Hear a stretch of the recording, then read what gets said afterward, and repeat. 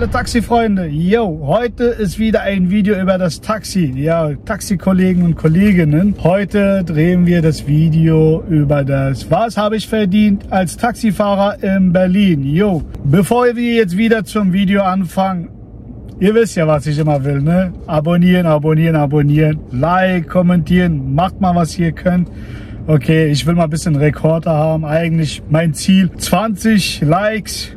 Das ist eigentlich mein Ziel. Bis jetzt habe ich maximale 10 gesehen. Darum kann ich nur noch mal von euch bitten, könnt ihr mir mal bitte einmal 20 Likes geben. Nicht viel, ne? Ihr könnt das machen locker. Ja, ähm, was ich überhaupt bis jetzt erlebt habe, jetzt in, in den folgenden Videos, kann ich mal so sagen, ich habe mal ein Video gemacht über das Blick Driver App. Diese Blick Driver App habe ich auch halt dann auch die Chats gelesen ein bisschen, ne? Die fluchen über mich. Ja, sorry Leute, aber ich habe nichts gegen euch, gegen Nicht-Fahrer, sondern ich habe einfach gegen das System ein, ein Problem. Mich stört das auf jeden Fall, weil dort einfach illegale äh, Geschäfte angeboten wurde. Dadurch habe ich dann halt das äh, veröffentlicht, ne? Und das mache ich dann immer wieder. Ihr könnt über mich beleidigen, ihr könnt machen, was ihr wollt, interessiert mich nicht. Aber so sobald halt ein tiefer reingeht, dann äh, sehen wir uns halt dann vor Gericht dann. Ne? Das mache ich auch, kein Problem. Also, ey, Blick Driver App, hier die Moderatoren, wenn ihr nicht eure Chat äh, bereinigt, dann wird das halt jemand anderer das machen.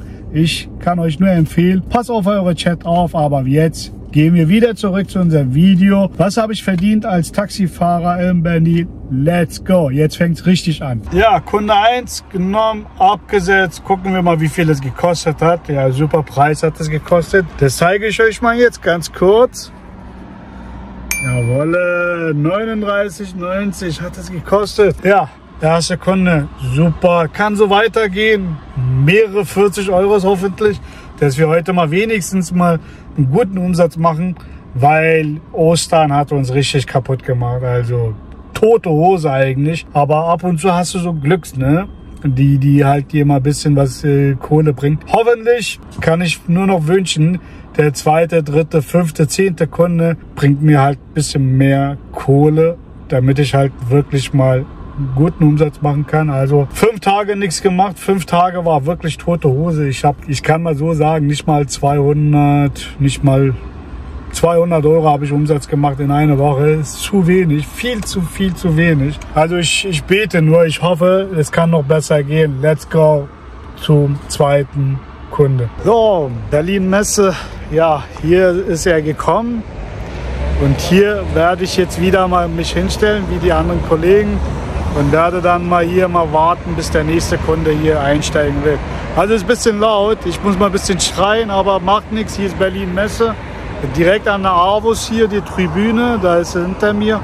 Zeige ich mal so, okay, dass ihr halt mal ein bisschen was von Berlin habt. Ne? So, genau, City Cup Berlin, Messe Berlin, Avus Tribüne. Hier war irgendwie mal ein Formular gewesen. Keine Ahnung, aber ich habe noch nie gesehen. Jo, warten wir ab wohin der nächste Kunde uns hinfährt. Okay? Hier meine schicke Mickey Auto. Mmh, lecker, lecker, lecker. Vom. Mach's gut. Gleich. Tschu. Ich laber zu viel. Hier gerade jetzt die Messe ERA 2024. Europäische Herzrhythmus ja, Sessions. Keine Ahnung, was das heißt, aber hier auf jeden Fall gibt es jetzt gerade die Messe, Berlin Messe. Ja, jetzt kommt dort ein, ein Einsteiger, den sehe ich schon, aber leider kann ich das nicht zeigen. Mal schauen, wohin er fährt und dann wie viel überhaupt für uns bleibt. Oder besser gesagt, wie viel wir verdienen werden insgesamt. Also schauen wir mal uns an. Ja, ja, ja, ja. Kunde abgesetzt, war eine hübsche Dame gewesen. Ja, kleine Trinkgeld nur gegeben. Mal schauen, was hat das gekostet Ganze, ne? Ich, nicht verraten. Ja, 36,30 hat es gekostet. Okay, hat sie aufgerundet, 40. Let's go, kann so weitergehen. Zwei Kunden bis jetzt. Ja, Tag fängt gut an. Also ich muss alles wieder nachholen. Ich habe ganze Woche nichts gemacht. Also gucken wir mal. Ah, ich überlege, weil ich bin jetzt gerade hier in Lichterfelde Ost am Kranolplatz. Hier ist ein bisschen tote Hose, sieht man schon. Da haben wir ein System. Da schauen wir alles, wie viel Mal überhaupt schon mal Taxi gerufen wurde oder so. Oder wie viele Taxis stehen überhaupt in der Taxihalteplatz. Das kann man sehen. Wer überhaupt auf der Platz 1 seit wie viel Minuten wartet auf, den, auf, den, auf seinen Auftrag. Das sehen wir immer alles. Das hatte ich schon mal auch immer erwähnt. Aber ich fahre wieder zurück. Wohin? Ja, zur Messe, weil heute ist Messe in Berlin über die Ärzte, über Herzrhythmus. Und da fahren wir jetzt wieder zurück. Let's go!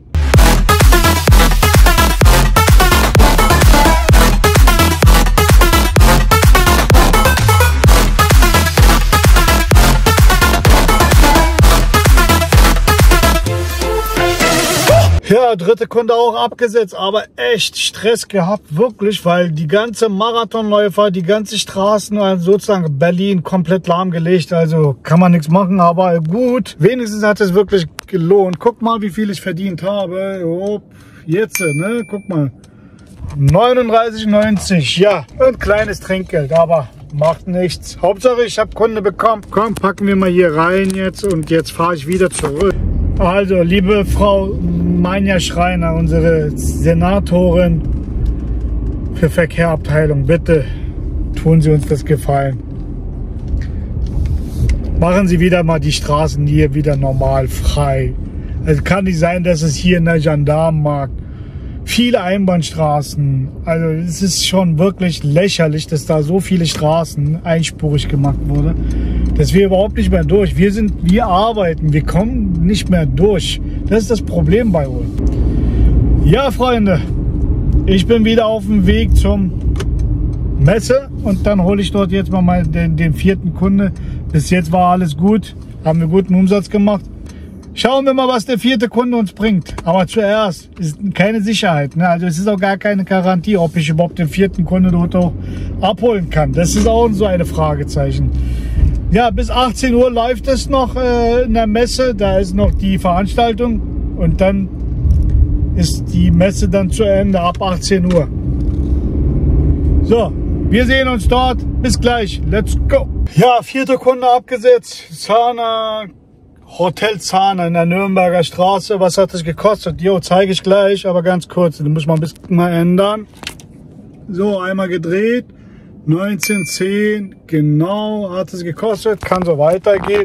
Ja, heute geht's nur noch an Messe und ich fahre jetzt wieder zur Messe und dort hole ich dann mal den nächsten Kunden ab. Darum beeile ich mich. Let's go!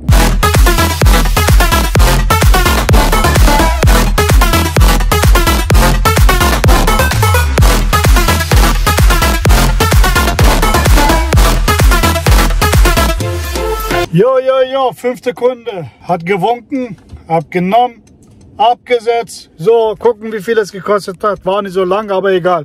Hauptsache Kunde. Mehr will ich nichts. So, 13,90, genau, da steht der Preis. Ja, ich bin auch sehr nah zur Messe, also zurück wieder zur Messe. Let's go!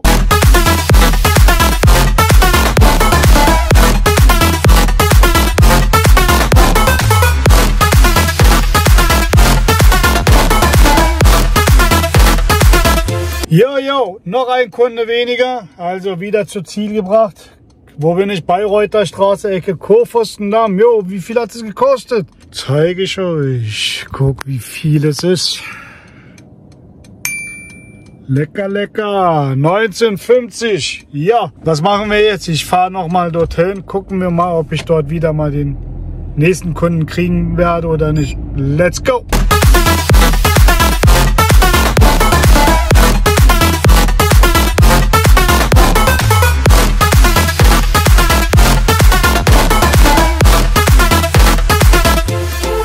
Ja, jetzt noch ein Kunde abgesetzt bei Intercontinental. Ich zeige euch mal jetzt schnell, weil ich muss hier wieder mal raus. Hier ist der Preis 22, 22 Euro 10 Cent. Okay, also heute läuft super. Ich kann nur noch wünschen, dass es halt noch besser, noch mehr, noch schneller gehen kann. Okay, ich muss mal rechts, links gucken. So, ab geht's.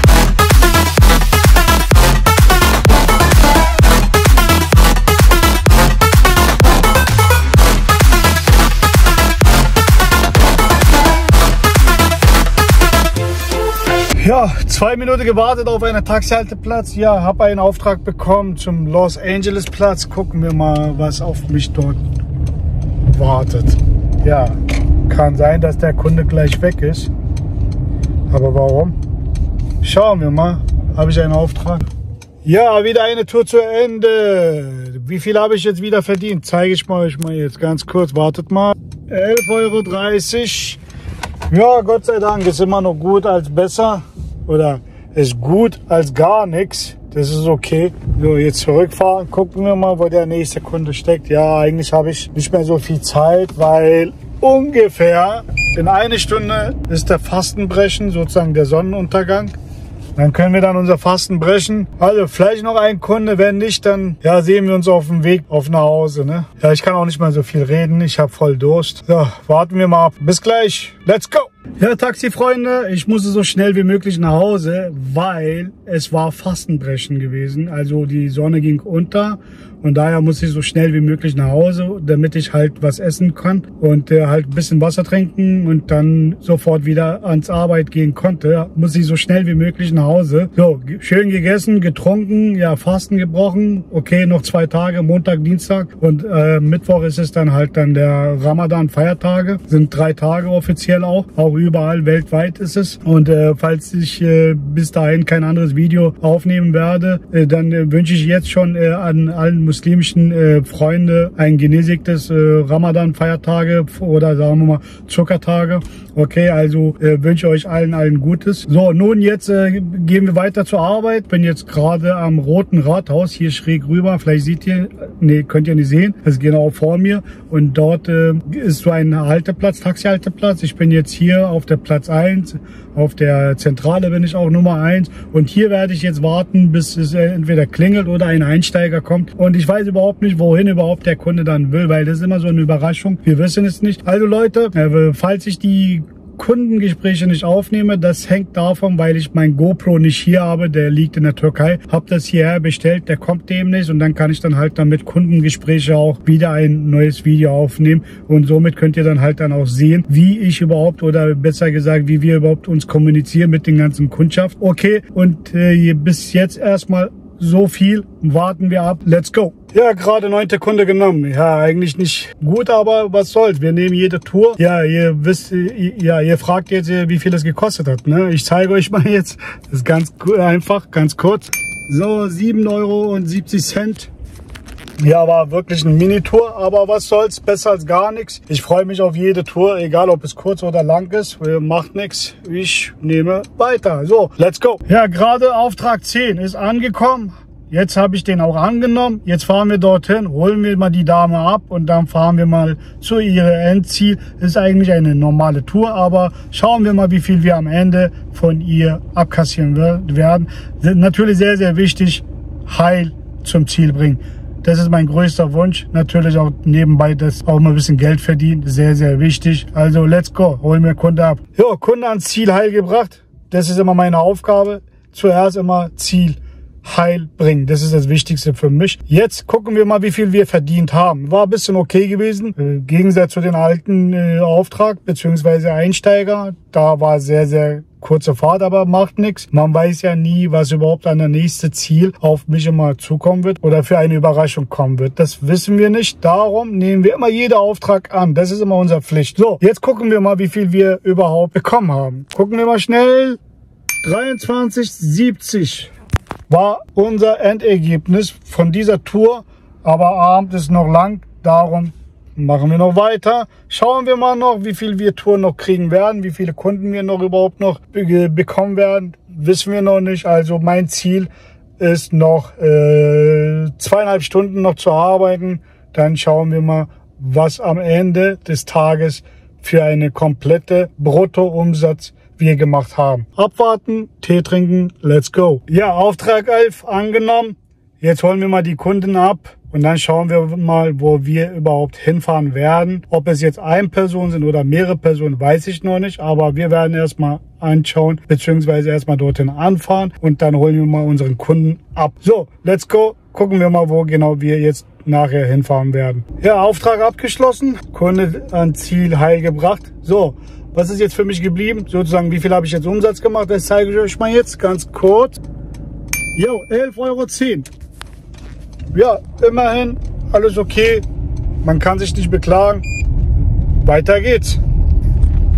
Ja, Taxifreunde, wir haben kurz vor Mitternacht. Für heute reicht es, weil heute ist Sonntag. Äh, sonntags ist immer dann gegen nachts, so ab 23, 24 Uhr ist immer Ruhe. Also ist immer sehr, sehr ruhig. Darum ist erstmal jetzt Feierabend für heute. Und dann schauen wir erstmal gemeinsam, wie viel ich heute einen Umsatz gemacht habe. Also gucken wir mal, wie viel habe ich heute verdient. Was ich sagen will noch, Heute hatte ich elf Kunden gehabt insgesamt. Ähm, davon waren sehr viele waren Einsteiger gewesen. Hatte riesen Glück gehabt. Kann ich nur noch sagen, waren drei, vier Aufträge nur gewesen oder fünf, bin mir nicht sicher. Zu diesem Thema werde ich noch ein paar Wörter gleich erwähnen, aber zuerst gucken wir mal, wie viel habe ich heute verdient. So, gucken wir mal, gucken wir mal. So, drück mal jetzt auf die zwei und die vier so, insgesamt 146 Kilometer gefahren. 77 Kilometer habe ich dann mit äh, Kunden gemeinsam gefahren, habe die befördert. Dann hatte ich elf Kunden gehabt, also null äh, Gebühren. Das sind sozusagen Zuschläge.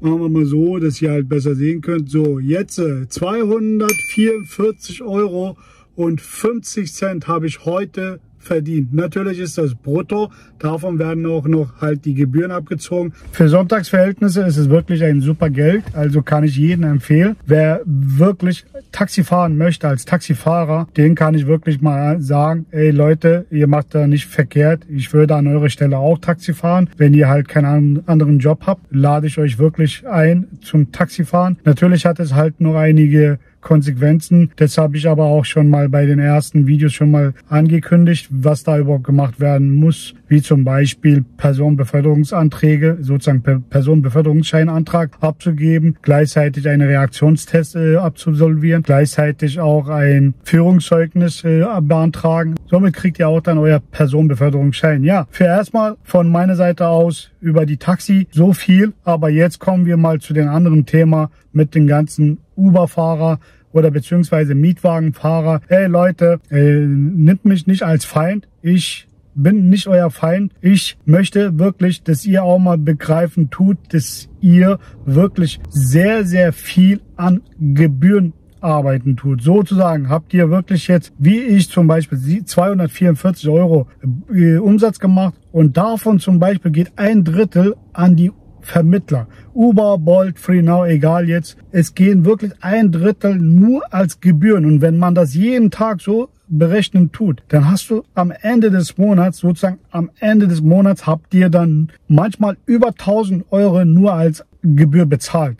Schade für das Geld. Schade für eure Arbeit was ihr da geleistet habt. Was habt ihr davon letztendlich am Ende des Monats bekommen? Nichts. Ihr quält euch, ihr quält euch und dann am Ende des Monats habt ihr so viel Gebühren bezahlt an die drei Vermittler. Schade für eure Arbeit. Das wollte ich einfach euch mal sagen. Ey Leute, überlegt euch mal sehr, sehr gut. Inzwischen ist es ja diese ganze Ortskundekenntnisse, sozusagen Ortskundeprüfung ist ja alles abgeschafft. Ihr könnt jetzt ruhig auch bei Taxi anfangen. Und Ihr könnt jetzt auch locker auch ihr Geld hier verdienen. Da müsst ihr jetzt nicht immer andere Firmen suchen oder weiß versichten nach andere Flotten, äh, nach Arbeit fragen. Leute, in der Taxibranche gibt's immer Arbeit. Ihr könnt da ruhig auch in der Taxibranche arbeiten, auch anfangen zu arbeiten. Darum sage ich euch, bitte, bitte, bitte, guck mal, ihr kommt live in meine Streams und dann beleidigt ihr mich als gay oder schwul oder so. Und wenn ich dann zurückantworte, dann seid ihr sauer. Leute, wenn ihr mit mir so redet, natürlich werde ich auch halt anders äh,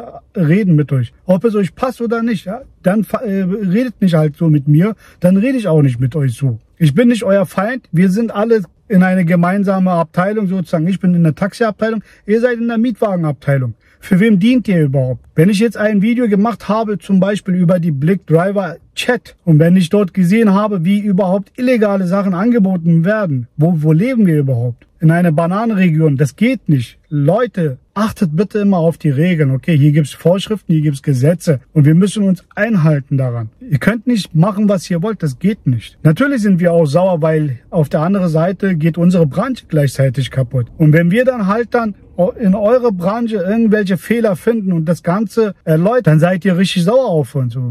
Sorry, müsst ihr nicht sein. Weil wir sind auch richtig sauer, weil auf der anderen Seite geht unsere Branche richtig kaputt. Wenn wir da sehen, diese ganze Dumpingpreise überhaupt, was dort überhaupt angeboten wird. Leute, ihr quält euch. Guck mal, ich habe elf Kunden, 244 Euro Umsatz gemacht. Wie viele Kunden braucht ihr, damit ihr diese Umsatz machen müsst? 30 Kunden oder mehr? Und danach werden ja auch noch die ganze Gebühren auch abgebucht. Ich kann euch mal locker sagen, manche, manche Flotten äh, zahlen über 30 Prozent, manche zahlen 20 Prozent Gebühren. Ist doch schade für euch. Guck mal, ihr quält euch. Ich denke an euch. Bitte, warum gibst du deine Mühe an so eine Vermittler, die gar nichts machen, außer nur Aufträge geben? Aber letztendlich habt ihr am Ende des Tages so viel gearbeitet für so viel, so wenig Geld. Leute, überlegt euch mal sehr, sehr gut. Guck mal, ich habe vier oder fünf Aufträge bekommen und diese vier bis fünf Aufträge, ich kann euch mal sagen, pro Auftrag hat mir 80 Cent gekostet. Egal ob es für 5 Euro oder für 500 Euro das Tour kostet. Aber letztendlich zahlen wir pro Auftrag nur 80 Cent. Und wenn die verdienen und jahrelang im Betrieb sind und die immer noch mitmachen in dem Markt, also überlegt euch sehr, sehr gut. Ich will halt nicht zu viel labern. Sorry, wenn ich zu viel gelabert habe. Tut mir echt leid. Aber einige Wörter fehlen mir einfach, was ich überhaupt nur sagen will. Aber ich denke wirklich an euch, hey, liebe Mietwagenfahrer, lasst euch nicht quälen. Okay, für diese Vermittler und, und lasst euch nicht von diese Flotten, von diese Vermittler auch nicht abziehen. Okay, also bleibt anständig. Ich hoffe, ihr wechselt mal langsam mal zum Taxibranche und ich hoffe, ihr verdient wenigstens hier auch mal Geld dann.